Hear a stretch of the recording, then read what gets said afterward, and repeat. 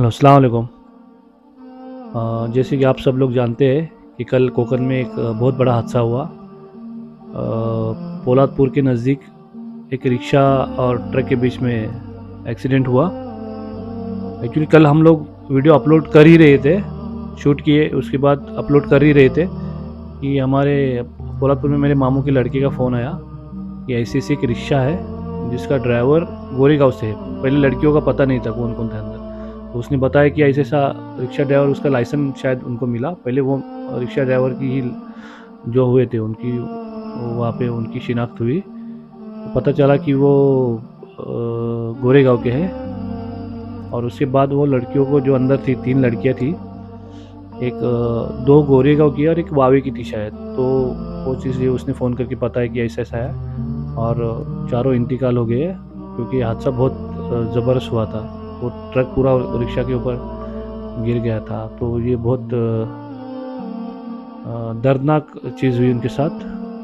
तो हम लोगों ने वो वीडियो अपलोड नहीं की और मतलब सुन के शौक ही लगा ये चीज़ें क्योंकि बहुत बहुत बुरी चीज़ हुई है। तो हम लोगों ने ऐसा डिसीज़न लिए कि और आने वाले और चार पाँच दिन चैनल पे कोई कॉमेडी वीडियो नहीं आएगी क्योंकि हम लोग भी बहुत शौक में हैं। ये बहुत बड़ा हादसा हुआ और मेरे एक दोस्त ने बताया कि ये जो लड़कियाँ, जो इनके इंतकाल हुआ है उनका, वो बहुत ही काबिल और टैलेंटेड लड़कियाँ थी और अपनी फैमिली के लिए कुछ करना चाहती थी। उनके सपने थे बड़े और कुछ बनना चाहती थी, अपनी फैमिली को सपोर्ट करना चाहती थी। इसलिए वो इतनी दूर तक डेट के एग्ज़ाम के लिए जाती थी और ये जो रिक्शा वाले थे, वो भी हर वक्त उनके साथ ही रहते जब भी उनको जाना होता था, यही रिक्शा रहती थी, ऐसे उसने बताया, क्योंकि उनको हेल्प करते थे जाने के लिए, आने के लिए। और बहुत मेहनत कर रहे थे वो लोग भी।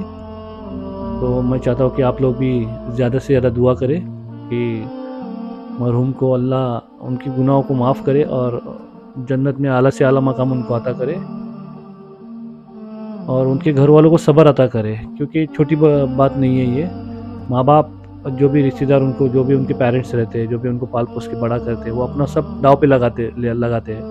पैसा हो, मेहनत हो, अपनी नींद, अपने शौक, सब पीछे रखकर अपने जो बच्चों को पढ़ाते हैं, उनको बड़ा करते हैं और जब उनके सपने पूरे होने होते हैं और ऐसी चीज़ें होती है तो फिर आदमी टोटली ख़त्म हो जाता है इस चीज़ से।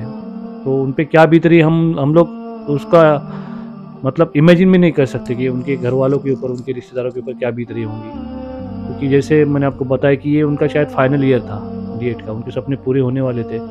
और मतलब क्योंकि एक उम्मीद लगी होती है अपने बच्चों से कि मैंने इसके ऊपर इतनी मेहनत की है, इतने सालों से हम लोग इसको पढ़ा रहे तो एक वक्त आएगा कि इससे हासिल, कुछ ना कुछ हासिल होगा, नाम कमाएँगे ये लोग, हमारी इज़्ज़त बढ़ेगी कि यार बेटियाँ इतनी पढ़ी, ये ऐसी ऐसी जॉब पे लगी है तो उन लोगों को एक उम्मीद रहती है और फिर ये ऐसी चीज़ें हो जाए तो फिर वो आदमी टूट जाता है पूरी तरह से। तो अल्लाह उनके घर वालों को सब्र अता करे और आप आप लोग जल्द से ज़्यादा से ज़्यादा दुआ करें उनके लिए।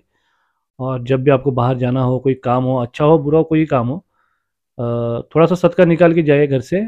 और माँ बाप को माँ बाप की बदुआ लेके कहीं भी नहीं जाए। माँ बाप के माँ बाप को बता के निकले घर से। माँ बाप को समझा के जो भी काम रहेगा उनको बता के निकले और उनकी रा, उनकी रज़ा से निकले। क्योंकि अगर माँ बाप को आप ठेस पहुँचा के कहीं भी निकल रहे हो या फिर कोई काम कर रहे हो तो उसमें बरकत भी नहीं है और कामयाबी नहीं मिलेगी, क्योंकि अल्लाह राज़ी नहीं होता उस चीज़ से। तो जब भी कोई घर से निकलोगे तो ये दो चीज़ें ज़रूर करना कि माँ बाप को बता के निकलो, उनकी दुआएँ लेके निकलो निकलो, सदका ज़रूर निकाल के घर से निकले और और उनके लिए दुआ करो।